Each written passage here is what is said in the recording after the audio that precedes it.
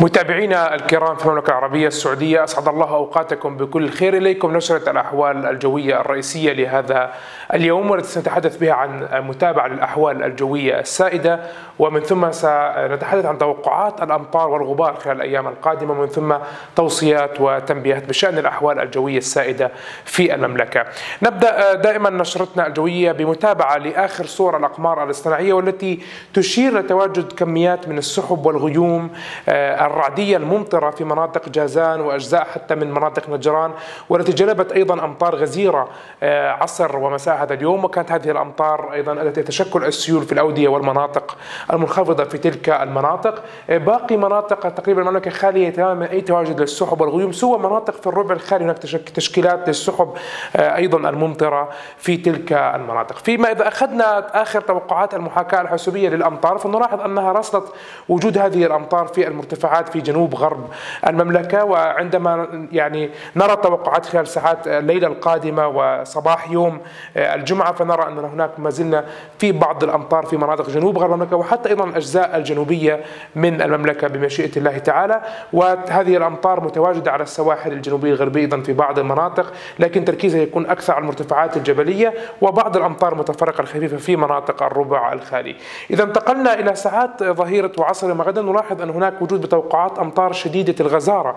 فعلى عموم المرتفعات الجبلية في جنوب غرب المملكة مرتفعات أبها وصولا حتى إلى مرتفعات الباحة إضافة إلى مرتفعات جازان وامتدادا للمناطق الشرقية باتجاه نجران. هذه الأمطار نتوقع أن تكون رعدية الطابع غزيرة وتؤدي بطبيعة الحال إلى جريان الأودية وتشكل السيول في تلك المناطق بشكل لافت. باقي مناطق المملكة تقريبا خالية من توقعات الأمطار سوى بعض الأمطار الخفيفة في المناطق الجنوبية من المملكة. مع ساعات مساء يوم غد الجمعة يتوقع أن تتحرك سحب وغيوم باتجاه مناطق جنوب المملكة وأجزاء من مناطق الإحساء وبالتالي يتوقع أن تهطل أمطار في تلك المناطق قد تكون رعدية وتستمر بعض الأمطار الرعدية بالهطول في مناطق جنوب غرب المملكة بمشيئة الله تعالى. ليلة الجمعة على السبت يتوقع أن تتطور الأحوال الجوية في هذه المناطق مناطق قريبة من الإحساء أقصى جنوب العاصمة الرياض وبقاء بعض الأمطار في جنوب غرب المملكة. بالإضافة لتطور سحب ممطرة على السواحل المطلة على الخليج العربي قريبة من مدينة الدمام والجبيل يتوقع أن تتطور سحب رعدية ممطرة في تلك المناطق. ليلة الجمعة على السبت أمطار خفيفة متوقعة في أقصى شمال غرب المملكة نتيجة تقدم منخفض جوي. مع ساعات صباح يوم السبت يتوقع أن تشهد مناطق الشرقية من المملكة المطلة على الخليج العربي حالة من عدم الاستقرار الجوي تؤدي إلى هطولات مطرية رعدية في تلك المناطق. تستمر الأمطار بالهطول في جنوب غرب المملكة بعض الأمطار في مناطق الربع الخالي. كذلك الأمر يتوقع أن تشهد مناطق شمال غرب المملكة في الجوف وعرعر وسكاكة والقريات والطريف. مناطق هذه يتوقع تشهد منخفض جوي وهطولا للأمطار وسط انخفاض حاد وكبير جدا على درجات الحرارة في تلك المناطق بمشيئة الله تعالى. نهار يوم السبت ظهرا وعصرا يتوقع أن تشتد من جديد فرصة هطول الأمطار في جنوب غرب المملكة. مرتفعات ابها وجازان وعسير ابتدى إلى مناطق نجران. لا يستبعد مرة أخرى تشكل السيول في الأودية والمناطق المنخفضه بعض الأمطار المحلية في مرتفعات المدينة المنورة بعض مرتفعات تبوك واستمرارية للأمطار في المناطق الشمالية من المملكة الحدود الشمالية نتيجة تقدم منخفض جوي. أمطار رعدية متوقعة في مناطق قريبة من المناطق الشرقية من المملكة بمشيئة الله تعالى. تعالى فيما إذا نظرنا مساء يوم السبت يتوقع أن تشمل الأمطار عموم مناطق جنوب المملكة. هناك حزام سحابي ممطر ممتد من مناطق جنوب غرب المملكة باتجاه دولة الإمارات.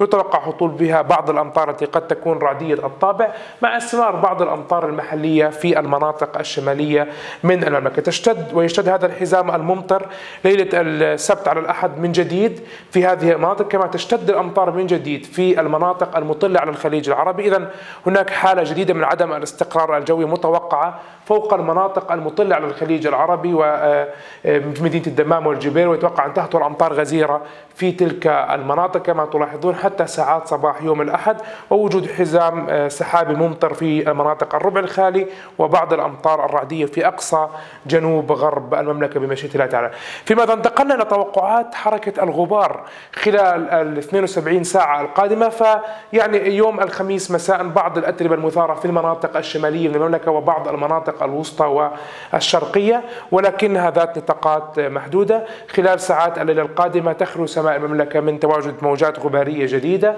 في حين كما نلاحظ غدا الجمعة هناك هبوب لبعض الرياح الغربية نشطة تثير الأتربة والرمال على بعض مناطق شمال غرب وغرب المملكة امتدادا إلى بعض المناطق الوسطى من المملكة بمشيئة الله تعالى ولكنها ذات تأثيرات محدودة بوجه عام.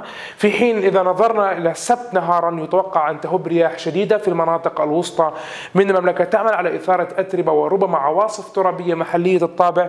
تتحرك تدريجيا باتجاه الشرق تصل إلى القصيم وحائل وربما تصل لاحقا ليلة السبت على الأحد إلى مناطق العاصمة الرياض بمشيئة الله تعالى. إذا توقعات الأحوال الجوية هذه الليلة في الرياض. أجواء تكون صافية بوجه عام 18 درجة مئوية. أجواء لطيفة آه، في العاصمة الرياض. في حين إذا نظرنا للأحوال الجوية متوقع ثلاثة أيام القادمة. الجمعة هناك كما ذكرنا فرصة لأمطار محلية خاصة في جنوب العاصمة الرياض. 26 درجة مئوية الحرارة العظمى الصغرى 18 السبت أجواء مشمسة 28 درجة مئوية لكنها تتحول إلى مغبرة ليلا إلى 18 درجة مئوية. كما ذكرنا هناك موجة من الغبار يتوقع أن تتحرك من المناطق الوسطى إلى المناطق الشرقية ويوم الأحد يطرأ انخفاض كبير على درجات الحرارة. تنتقل الحرارة من 28 إلى 21 حتى أن ليلا تعود الأجواء تصبح باردة على غير المعتاد. لمثل هذا الوقت من العام تهبط من 18 إلى 11 ولكن وسط أجواء صافية بوجه عام. ننهي نشرتنا الجوية ببعض التوصيات والتنبيهات الهامة بشأن الأحوال الجوية المتوقعة في المملكة. هناك تنبيه من جريان الأودية وتشكل السيول في العديد من المناطق. أيضا هناك تنبيه من الغبار خاصة يوم السبت. وأخيرا هناك الانتباه من انخفاض درجات حرارة الحاد خاصة في المناطق الشمالية من المملكة. سيما مع وجود هناك تفشي لفيروس كورونا في العديد من دول العالم ندعوكم إلى الانتباه بلبس ملابس ثقيلة وأخذ أقصى درجات الاحتياط من هذا البرد القادم من الشمال. سيما أن مناطق بلاد الشام متوقع أن تتأثر بكتلة هوائية قطبية في هذه الفترة. إذا هذا كان كل ما لدينا حتى الساعة بشأن الأحوال الجوية في المملكة. دائما تابعونا عبر تحميلكم لتطبيق طقس العرب أو لمتابعتنا عبر اليوتيوب. يمكنكم تفعيل زر الاشتراك الجرس. ليصلكم كل ما هو جديد. دمتم في رعاية الله. إلى اللقاء.